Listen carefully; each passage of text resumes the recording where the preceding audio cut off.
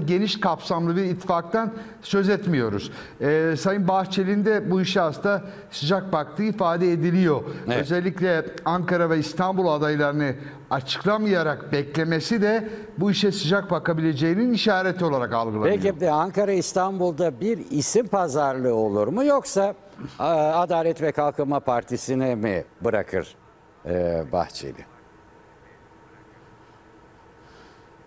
Şöyle yani e, MHP'ye çok ters gelen Ha. bir isim olmadığı sürece bir sıkıntı çıkmaz. Evet. Konuşulan adaylar var. Yani şu anda İstanbul için Sayın Binali Yıldırım, Ankara için Sayın Özaseki ismi öne çıkmış durumda.